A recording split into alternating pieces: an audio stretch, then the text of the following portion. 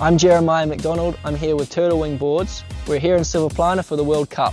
This is my new Starbuster Aero board. It's a pure course racing board designed for speed on the upwind sections.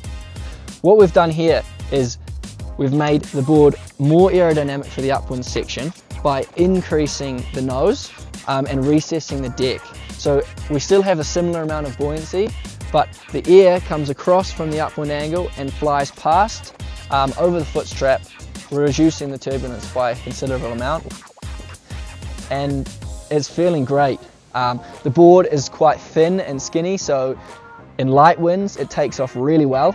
Um, I've been really enjoying this with the, the bigger front wing here in Silvaplana and kind of six, six to eight knots conditions.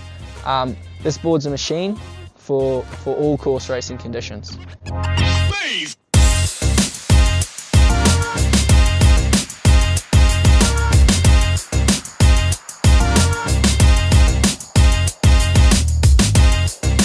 This is an 81 litre 6.2 by 18 board. My weight is 85 kgs for reference.